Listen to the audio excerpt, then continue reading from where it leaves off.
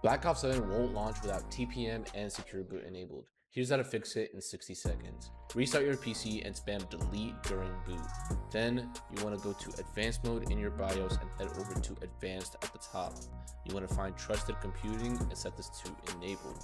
Then you want to go to AMD FTPM configuration and ensure firmware TPM switch is set to enable firmware TPM. Then you want to head over to boot at the top and head over to secure boot. On ASUS, OS type should be Windows UEFI mode for secure boot to be enabled. Now on your motherboard, you might have to do something else, but ideally you just want to set it to on or Windows UEFI mode and secure boot will be enabled.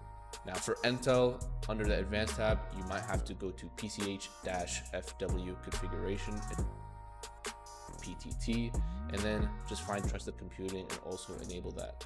And that's pretty much it.